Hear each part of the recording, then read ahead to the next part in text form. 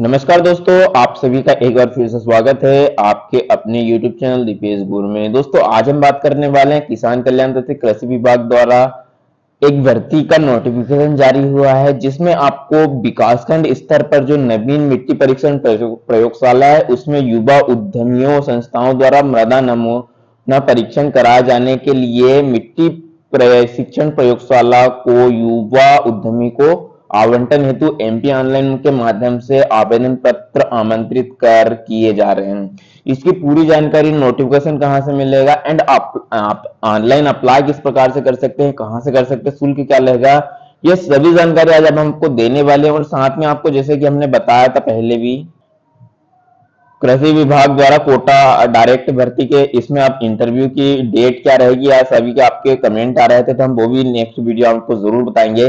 पर अभी हम बताने वाले हैं सॉइल परीक्षण के लिए जो जानकारी आपके मांगी गई है, जो नोटिफिकेशन जारी किया है, वो कहाँ से हम देख सकते हैं? चलिए करते हैं वीडियो को स्टार्ट जैसे ही आप सभी को पता है, हमारी यूट्यूब चैनल होने के साथ साथ एक वेबसाइट पर हम सारी जानकारी आपको वेबसाइट पर हम बताते हैं। वेबसाइट का नाम है गोर न्यूज़ ट्वेंटी फोर गूगल पर आप लिखकर जैसे सर्च करेंगे G O U R N E W H twenty four लिखकर आप जैसे सर्च करेंगे वेबसाइट हमारी आपके सामने फ़र्स्ट लिंक आपको दिख जाएगी।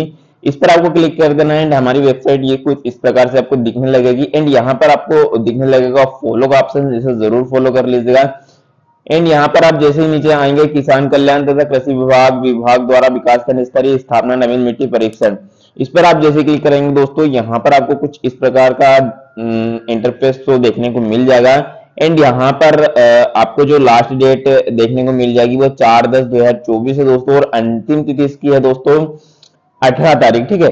आवेदन शुल्क है जो दोस्तों तीन सौ रुपए रहेगा, अगर आप स्वयं द्वारा भरेगे तो तीन सौ रुपए रहेगा, अगर एमपी ऑनलाइन के माध्यम से भरोगे तो ढाई सौ रुपए एमपी ऑनलाइन भरने की फ़ीस रहेगी पचास रुपए चार्ज रहेगा कि कुछ इस प्रकार से आपको तीन सौ रुपए टोटल देखने को यहाँ पर मिलाए कुल मिलाकर कहीं से भरेंगे तो आप तीन सौ रुपए आपको चार्ज जो है वो देना पड़ेगा।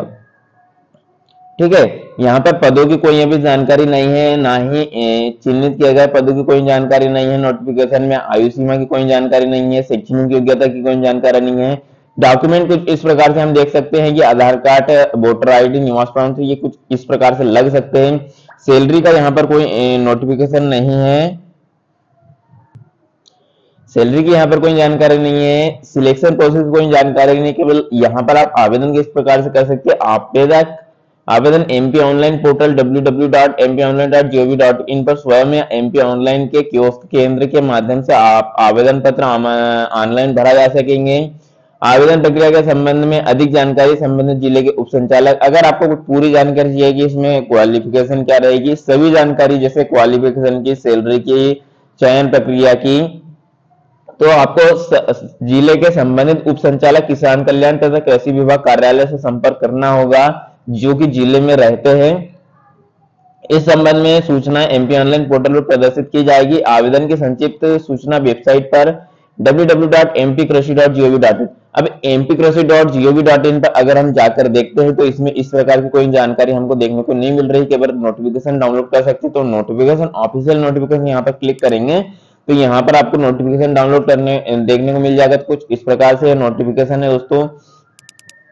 इसे आप डाउनलोड ज़रूर कर कर देख सकते हैं, पर इसमें इतनी जानकारी नहीं है। इसके लिए हम इसके ऑफिशियल वेबसाइट पर चलते हैं तो इसकी ऑफिशियल वेबसाइट थी, क्या थी दोस्तों? तो W W W W W W dot M Krishi dot dot in ठीक है एमपीएससी.gov.in पर तो यहाँ पर आप देख सकते हैं, किसान कल्याण कृषि विभाग, मध्य प्रदेश के ऑफिशियल वेबसाइट पर आ चुके हैं। यहाँ पर आप देख सकते हैं ई एल एवं आवेदन पत्र है तो इस पर यहाँ पर आप देख सकते हैं। ठीक है, अभिव्यक्ति अगर हम डाउनलोड करें तो यहाँ पर आप देख सकते हैं, हम इस पर जैसे क्लिक करेंगे तो हमारे सामने कुछ इसी प्रकार का एक नोटिफिकेशन डाउनलोड हो जाएगा, जो कि हमने हमारी वेबसाइट पर अपलोड करके रखा है। बाकी इसके अलावा इसमें कोई जानकारी नहीं है। अगर इसमें कोई अपडेट आता है तो हम आपको ज़रूर सूचित करेंगे। वीडियो कैसा लगा, वीडियो को लाइक, चैनल को सब्सक्राइब ज़रूर कर दीजिएगा। इस वीडियो में इतना ही। नेक्स्ट वीडियो लेकर आपके साथ जल्द मिलेंगे। तब तक के लिए दीजिए मुझे इजाज़त। जय हिंद, जय भारत, वंदे मातरम।